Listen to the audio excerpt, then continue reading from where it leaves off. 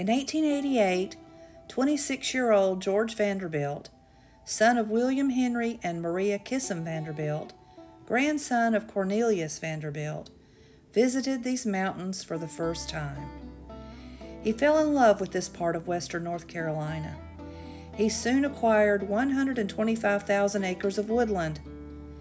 It was here he built his dream home, which he named Biltmore. The word Biltmore is a made up word, combining Bilt, George's ancestral Dutch surname, and Moor, meaning rolling open land. Finished in 1895, it is an architectural wonder. The house is 175,000 square feet with 35 bedrooms and 46 bathrooms. Every bathroom has a toilet, bathtub, and shower, but none have a faucet and a sink. Sinks were ceramic bowls and had a water pitcher placed in the bedroom, as was typical in that era.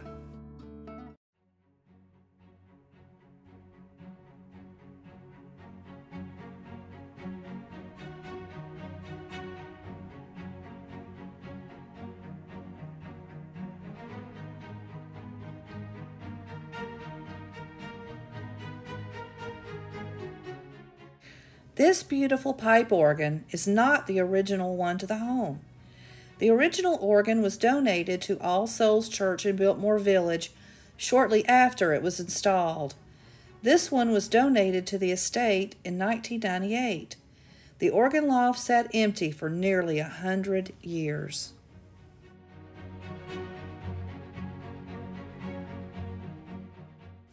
These Flemish tapestries are from the 1500s.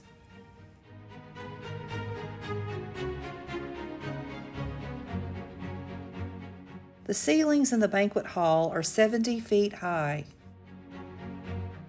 Nearly every room has a butler's pantry call button.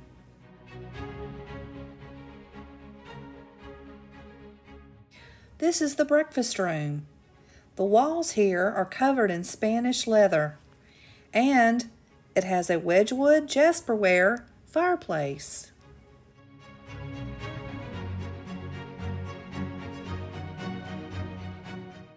Right outside the breakfast room is this sitting room, which, believe it or not, was not finished during the time the family lived here. It had velvet curtains hiding the unfinished room from the view of any guests. Another unfinished room was this music room. During World War II, this empty, unfinished room was a safe haven to priceless pieces of treasured art from the National Gallery of Art 62 paintings and 17 sculptures were kept here from 1942 to 1944 in case of an enemy attack on Washington.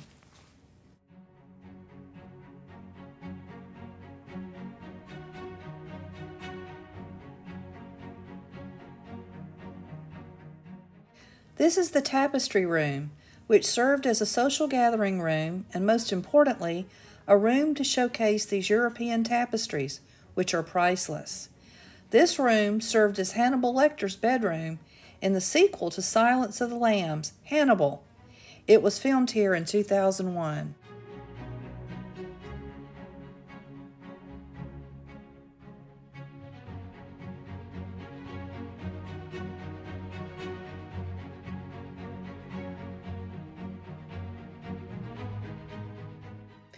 Probably the most cherished room to George Vanderbilt was his library.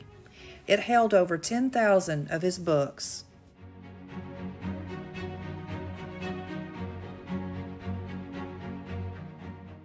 This ceiling is actually a large painting.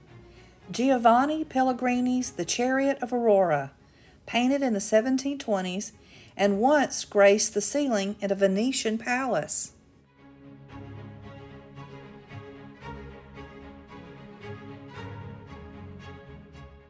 I hope you enjoyed part one of The Secrets of Biltmore.